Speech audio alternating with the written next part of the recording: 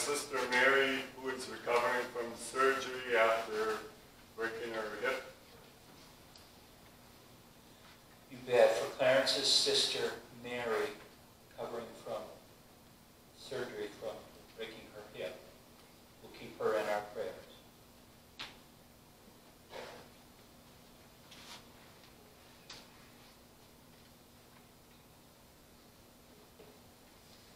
Yes, Mrs. Well, White. everyone knows I don't like warm weather.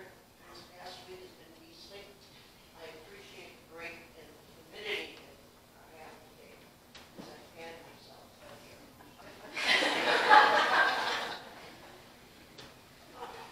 Cooler weather. And I think we need a little bit of rain. What we do?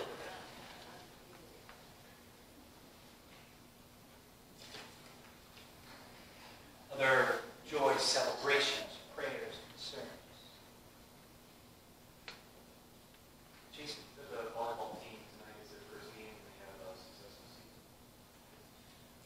Team's uh, first game of the season is tonight. I Encourage you to come if you're able to. Who are they playing?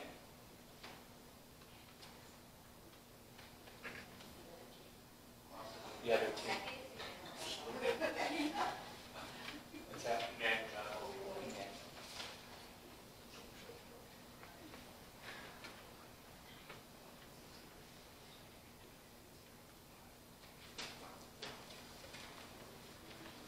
All right, let's take our, our prayer concerns, our joys, our celebrations, uh, that which weighs us down and weighs heavy on our minds and heart, to share it with our Lord. Just a few moments of quiet, silent prayer.